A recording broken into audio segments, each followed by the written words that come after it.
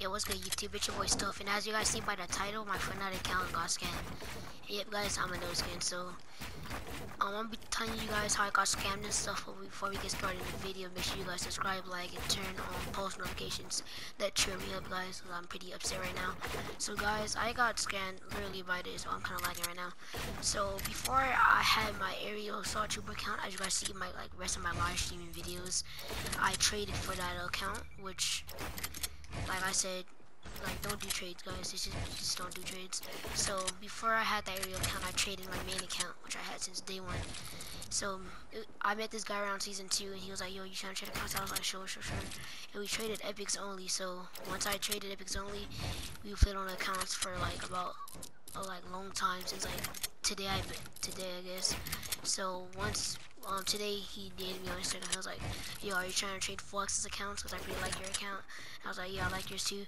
And he was like, alright, can we trade full access? I was like, um, sure, because like, I knew this guy from like season two.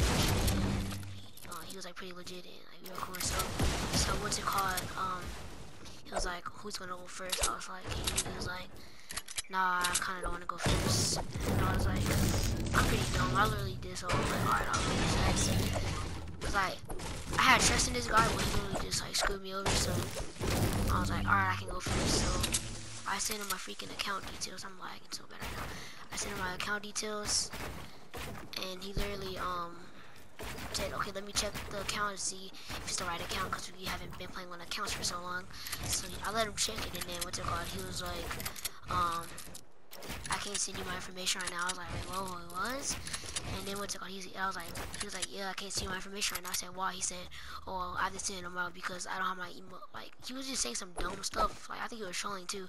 He just saying some dumb crap. And I was like, bro, send it, bro, stop playing. So he was like, nah, I can't send it. So I was like, okay, you just scammed me. And he was like, oh, yeah, yeah, I did me. I was like, where? And what's it called? He literally blocked me. And I just tried, um, I try to go on my um, other accounts, but I have like another account, but it's just a Galaxy account. I sold most of my accounts because I'm a legit seller. I still like most of my accounts, and I give away accounts, so I have like no account to play on.